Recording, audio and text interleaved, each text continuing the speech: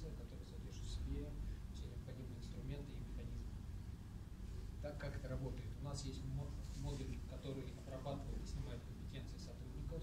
Мы формируем большую матрицу компетенций по всей компании. Далее у нас есть механизм индивидуального плана, плана развития. Мы можем планировать развитие и прокачивать эти компетенции у сотрудников. Есть модуль оценки для актуализации состояния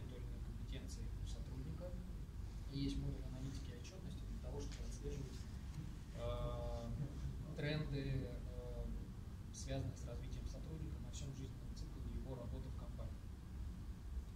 Э, в результате, после внедрения нашего сервиса, компания получает механизм внутреннего найма. Мы получаем большую матрицу компетенций внутри и ее изменений внутри компании. Можем э, планировать определенных сотрудников на закрытие тех или иных должностей внутри компании. В то же время сотрудники получают простой и удобный инструмент для планирования своего развития внутри компании, что позволяет им дольше задерживаться внутри компании. Э, безусловно, данная проблема сейчас решается на рынке, решается в основном за счет э, э, ручным способом, с помощью Word и Excel. Далее компании могут прийти к тому, чтобы автоматизировать данные процессы, принять решение о том, чтобы разработать свое самописное решение, что долго дорого и требует наличия в штате какого-то специалиста. Могут принять решение о закупке тяжелого enterprise решения там, класса Oracle SAP, что также долго, дорого и, как правило, как бы дан, данные тяжелые продукты не всегда эффективно используются внутри компании. А также есть на рынке большое количество сервисов для обучения и оценки сотрудников, которые сфокусированы только на а, своих специфических курсах. Наше же конкурентное преимущество то, что мы сфокусированы именно на проблематике, связанной с а, развитием сотрудников. Нас можно использовать из коробки, а также гибко настраивать под определенные а, нюансы, связанные с бизнес-процессами в той или иной компании. А, рынок России мы оценим в полтора миллиона долларов и 75 компаний. Наша бизнес-модель – это работа по интеграции и внедрению нашего сервиса внутри корпорации, а также 15 долларов э, за сотрудника в год. Э, на данный момент э, в апреле мы закончили создание нашего первого MVP, провели КСДФ. Э, сейчас э, мы взаимодействуем с двумя э, клиентами, с которыми сейчас э, согласуем бизнес-требования и планируем заключить в ближайшее время договор на проведение двух пилотных проектов. До конца декабря наша цель выйти на 10 клиентов. В следующем году, э, к концу следующего года это 100 клиентов, попробуем себя на международном рынке. Э, мы являемся профессиональной командой с опытом создания международных корпоративных продуктов. Э, у нас в составе есть дизайнер и методолог. На текущий момент наш запрос мы ищем себе в команду крутого HR или консалтера, а также э, ищем выходы на лиц, принимающих решения в компаниях от 300 сотрудников. Все, спасибо. Есть какие вопросы? Customer Development, Игорь, как у вас идет? Ну, КСДФ мы примерно провели 50, наверное, 50 опросов, то есть это прям на холодную, мы искали HR разного уровня, это HR либо HR менеджеры. И что они сказали? А, ну, на самом деле, порядка 80 подтвердили эту боль, и 80% это действительно ручной режим, это куча Excel и Word, да, они все в целом, эти механизмы, эти процессы, это, ну, как бы, эти процессы на данный момент это все в основном ручной режим, который не позволяет какую-то проводить аналитику или вообще анализировать вот сотрудника на протяжении там, какого-то длительного отрезка времени. Поэтому, как правило, зачастую это может превращаться вообще в какую-то профанацию, где что-то запланировали, в конце провели оценку, сотрудника перевели на должность, но дальше это все сжигается, начинается новый этап. А вот оценить, условно говоря, его какие-то желания долгосрочные, как бы, ну, вот эти все истории не позволяют. А есть вообще это ну, проблема? Ну, то есть они, а, хорошо, есть а, траектория движения сотрудника там, да, в компании, условно говоря. У каждой компании она разная, исходя из понимания, исходя из структуры самой организации, руководителя, его ви- вида, да, и проявления эффективности сотрудника как такового, да. То есть мы двигаем тех, кто то есть, двигается и приносит результат. А, Ну, то есть и, и, и как бы вот эта прозрачность, она ограничивается только тем вот линейным подразделением большим, да, Мгм. у которого есть руководитель, который знает своих сотрудников. Так, Условно говоря, если есть задача где-то в соседних подразделениях или вообще у руководства открыть какое-то новое направление, как Ага. правило, оно будет решаться созданием данного направления и поиском людей на рынке.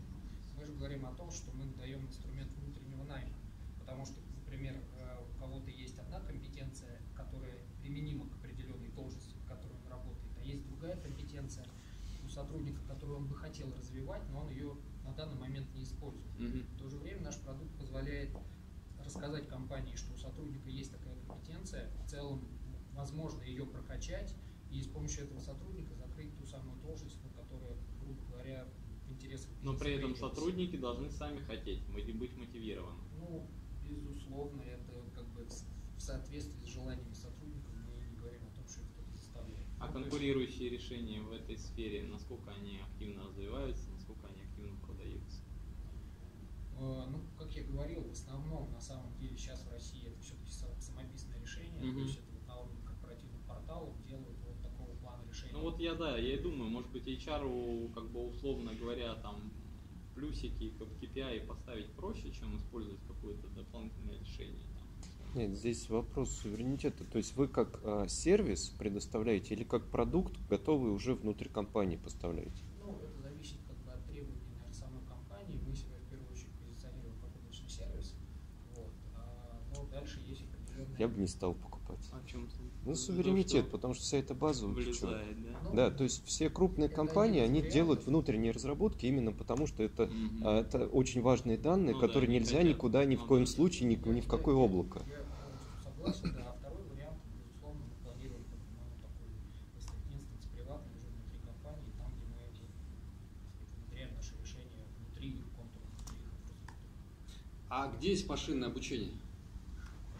Обучение мы планируем э, как бы в своем следующем развитии для того, чтобы, условно говоря, как раз предсказывать, анализировать тренды на жизненном цикле сотрудника, чтобы предсказывать потенциальное увольнение.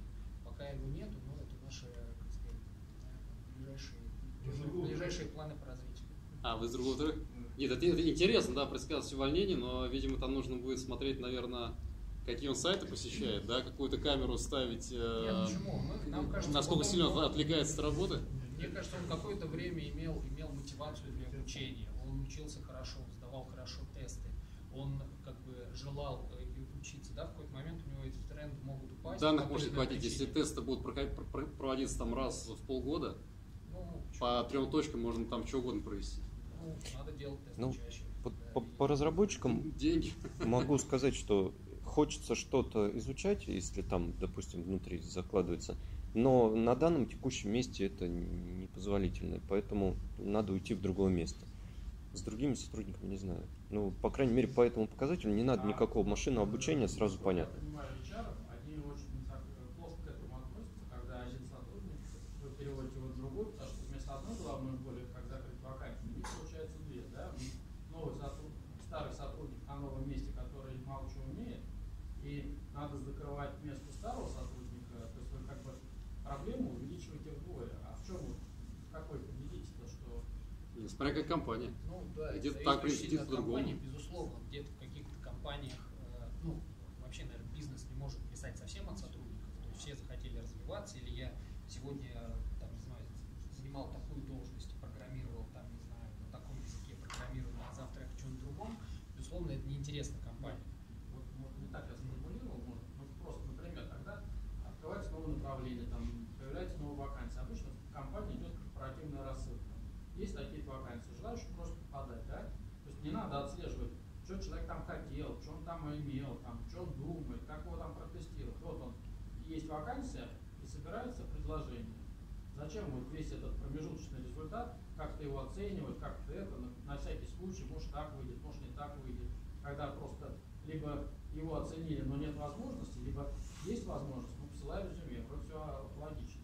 М. Ну, Вот резюме я автоматически Я, я не так часто встречал вот эту историю с рассылками, потому что это тоже очень большой риск для компании, потому что многие захотят, многим придется отказать, выбрать лучшего, и, как правило, HR наоборот, наоборот, Да. мне кажется, от этого дистанцируются, потому что, ну, это такой там конфликт интересов может быть. А мы говорим о том, что это все-таки инструмент, ну, условно говоря, такой двойной, да, это больше для бизнеса, знать своих людей, знать их компетенции и формировать кадровый резерв какой-то, золотой фонд, за ним следить. Это очень важно, безусловно.